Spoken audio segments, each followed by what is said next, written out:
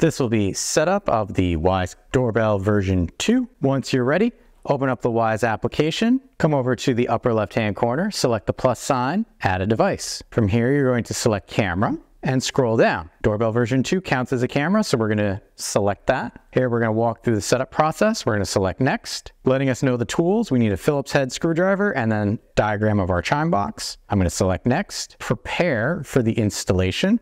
All of this is located right here. We're to hit next. Required items, Wyze doorbell chime controller, Phillips and caps. We're gonna select next. We're gonna turn off the power, always a good idea. So let's cut to that now. After our power is cut, we come back, we select next. That's walking us through the turning off our power box.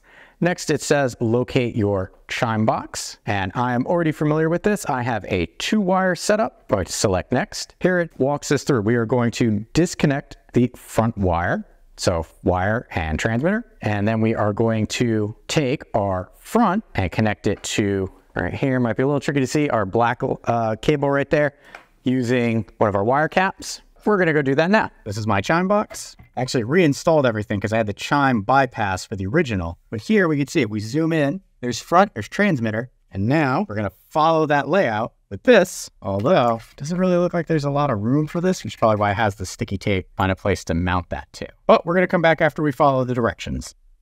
Now that we have the chime controller situated, we're ready to go outside. It's letting us know what we need to prepare. Selecting next. You're gonna disconnect to your front doorbell. In my case, it's the previous Wyze version. And then here it's gonna walk us through how is this situated. In my case, I'm gonna say it's parallel and I will be using the wedge next. So now it says I'm going to take the wedge plate, screw this in outside, feed my cables through, connect them to the back of the doorbell, use the wire taps and extenders right there, and then turn power back on. So what we're gonna do is we're gonna go outside and see if we can get this situated. So right here, I have removed the previous doorbell right there. So I'll actually give you a nice size comparison of the version 2 to the version 3. So it is going to take up a little more space there, but I'm also going to use some of the wiring from the version 1 for the version 2. They are rated for the same level of electrical current, so I'm just going to take off the plate here and the wedge plate and replace it with the new wedge plate. All right, so, so far I have the wedge plate in place. These are the wire caps from last time, so we'll move on to the next step. And by next step, I mean using the short screws to use this plate.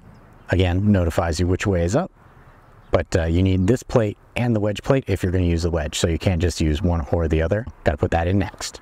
And if all goes according to plan, and you are transitioning from the version one of the doorbell, and you had all this stuff set up, including the screws, you can actually save all the hardware that came with the version 2 as a spare because all the version 1 stuff works with the version 2. So now we'll just hook up the camera to our connectors there and we'll be good to go. After you connect everything, you're gonna go back and turn your power on as it says right here. We're gonna hit next and then we're gonna bring our camera into focus here and it should be flashing orange, which it is. We're gonna select next.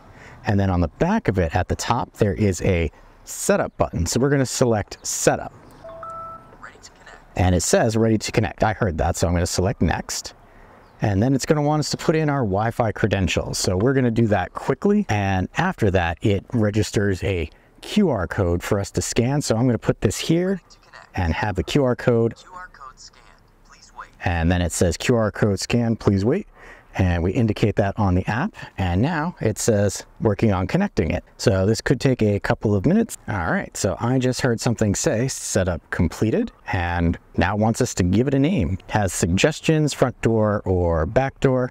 We're going to say version 2 now it is prompting us for their cam plus subscription.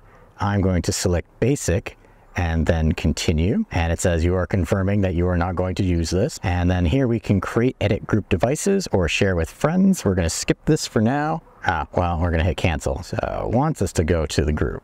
No, we don't wanna do a group. Skip. Try to make you do stuff and I don't like that, but we're gonna hit finish. And then check the status. It should be blue. It is blue. Gonna hit next. Now we can attach it to the wall. So we're gonna hit next and then voila, finished. Doorbell is good to go. And there is a firmware update, so we're gonna do that. We're to update the firmware before we put it back on the uh, placement there. And we'll get back to you after that's done. Once you get a notification that your firmware is done, simply select done. I got a uh, sticker for backing and there you can actually see the live feed as it points down. So we are now able to put this into place, which we do simply by following these little indentations right there.